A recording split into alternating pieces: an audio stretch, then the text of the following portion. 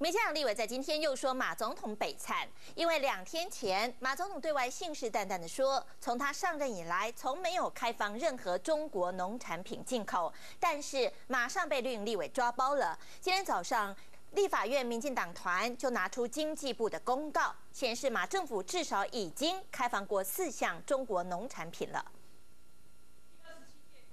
签订 A 克法会不会开放中国农产品进口呢？马总统这样说：民进党执政的八年当中，农产品开放进口最多的一个时期，一共开放了九百三十六项，我们任内都还没有开放增加一项，一项都没有。啊，所以我的政策是，跟大陆不管是签 A 克法或者签任何东西，都不会增加开放农产品进口。马总统上任后真的那么保护农民吗？经济部公告九十七年六月二十七号，主旨公告自即日起开放大陆制品啊，这个黑豆等十七项，全民看到鬼了吗？啊，全民见鬼啊！总统不应该欺骗人民，更不应该公然说谎。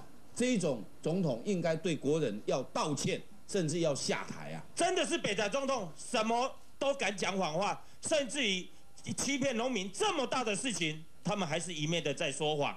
拿出经济部的公告，马政府上任后至少已经开放四次中国农产品进口，现在睁着眼睛说瞎话。绿营立委之一，马政府根本是故意要混淆视听。至少有四次啊是农产品被开放的，怎么会说他上任之后一项农产品都没有进口呢？意图啊去混淆国人对 f 法的这个疑虑啊，混淆。